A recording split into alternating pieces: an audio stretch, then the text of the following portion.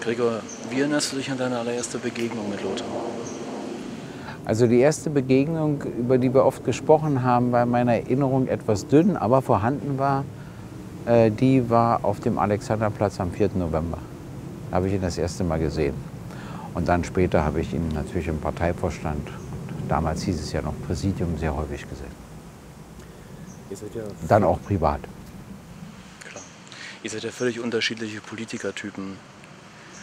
Wie hat dieses, ja, wie habt ihr beide zusammen gearbeitet, euch erlebt, angenähert? Wir haben uns hervorragend ergänzt. Alles, was er konnte, konnte ich nicht. Und was ich konnte, konnte er wieder nicht so gut. Und insofern weil wir das wussten. Ich wusste genau, was er besser kann, er wusste, was ich besser kann und dann war das völlig unkompliziert zwischen uns. Aber selten ein so unkompliziertes Verhältnis erlebt wie das zwischen uns. Was konnte er besser?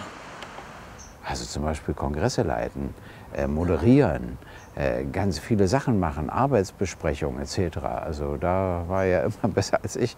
Das habe ich gar nicht versucht, erst ihm abspenstig zu machen. Außerdem gab es, äh, er war auch sehr unterschiedlich. Ich habe einmal erlebt, einen Berliner Landesparteitag, da sprach er, Oskar und ich, und dann habe ich auch zu Oskar gesagt, die beste Rede hat Lothar gehalten an dem Tag. Also es, das gab es auch. Wenn er wollte, konnte er auch sowas. Ihr habt die Zeit der PDS erlebt mit dem Hungerstreik, ähm, mit all den Bemühungen Bestrebungen, die PTS klein zu halten, aufzulösen, zu verdrängen. Ähm, das hat euch sicherlich stärker gemacht, aber wie hat es euch stärker gemacht? Wie hast du das erlebt?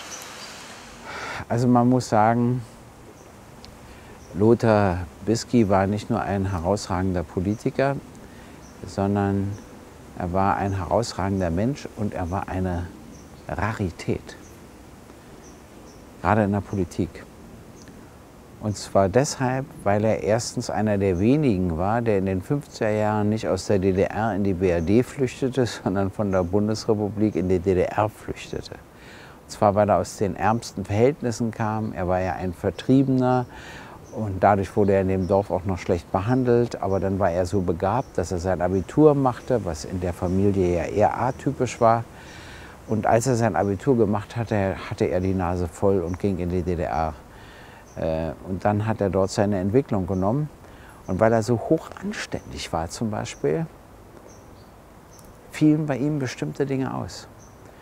Also er war ja der Rektor der Filmhochschule in Potsdam und ich habe immer so am Anfang 90 damit gerechnet, dass ich mal irgendeinen bösen Brief von irgendeinem Studenten kriege, dass er dies oder jenes gemacht hätte. Nichts. Nichts dergleichen. Er hat keine einzige Studentin, keinen einzigen Studenten relegiert, obwohl es immer wieder mal Anforderungen an ihn gab, das zu tun. Das hat er verzögert und verschoben, bis die anderen sich nicht mehr darum gekümmert haben. Er ist deshalb so eine Rarität in der Politik, weil er emotional ist, weil er tiefes Mitgefühl empfindet, weil er sehr tolerant ist, weil er bescheiden ist. Äh, weil er eine Art Mitmenschlichkeit ausstrahlt, wie man das wirklich selten erlebt. Und deshalb alle Leute in der Umgebung oder fast alle mögen ihn. Man mochte ihn einfach. Und ich mochte ihn auch von Anfang an. Ich mochte auch seine Art. Außerdem hat er noch einen sehr tiefsinnigen Humor. Ist sehr gebildet, sehr intelligent. Also es kommt so alles zusammen. Aber wenn du sehr intelligent bist, aber zugleich bescheiden, dann hast du ja ein ganz anderes Auftreten als jemand, der das so nach vorne peppt, sage ich mal, und eine Wirkung zu erzielen. Es tut richtig weh. Nun kam es auch so plötzlich und so unerwartet und äh, es tut mir auch richtig weh. Wirklich, aber ja, er war ein Freund von mir und ich verkrampfe richtig, wenn ich jetzt anfange, darüber zu reden, muss ich sagen. Und ja, und er ist durch sowas nicht klein zu kriegen, also durch Gegnerschaft oder äh, dadurch, dass wir eingefeindet wurden. Im Gegenteil, da entwickelt er sehr viel Solidarität. Ich kann mich an eine Fernsehsendung erinnern, wo ein CSU-Mann ihn mal richtig angriff. Und da habe ich gestaunt, wie er sich wehren kann dann auch, ja. Weil er da eigentlich so ruhig war. Aber plötzlich konnte er da auch richtig zurückzischen. Das hat mir gefallen, ehrlich gesagt. Ja. Deshalb sage ich, er ist eine Rarität.